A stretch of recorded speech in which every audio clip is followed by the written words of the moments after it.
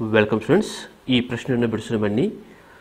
Minus ಎರಡು ಮತ್ತು ಜೀರೋಗಳ ನಡುವೆ ಯಾವುದಾದರೂ ಮೂರು ಭಾಗಲಬ್ಧ ಸಂಖ್ಯೆಗಳನ್ನು ಬರೆಯ ಬರೆಯಿರಿ ಅಂತ ಹೇಳಲಾಗಿದೆ.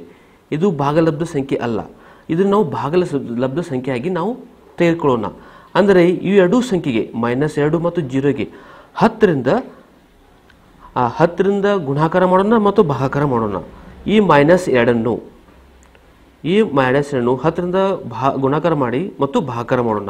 ಇದಕ್ಕೆ ಮೈನಸ್ ಇಪ್ಪತ್ತು ಬಾಗಿಲೆ ಹತ್ತಾಗುತ್ತದೆ ಇಲ್ಲಿ ಹತ್ತರಿಂದ ಗುಣಾಕಾರ ಮಾಡಿದ್ದು, ಹತ್ತರಿಂದ ಭಾಗಕಾರ ಮಾಡಿದ್ದು.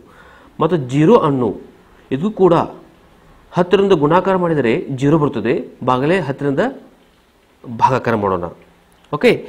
ಈ ಎರಡು ಮೈನಸ್ ಇಪ್ಪತ್ತು ಬಾಗಲೆ ಹತ್ತು ಮತ್ತು ಜೀರೋ ಬಾಗಲೆ ಹತ್ತು. ಈ ಎರಡು ಭಾಗಲಬ್ಧ ಎರಡು ಎರಡು ಭಾಗಲಬ್ಧ ಸಂಖ್ಯೆಗಳಾಗಿವೆ.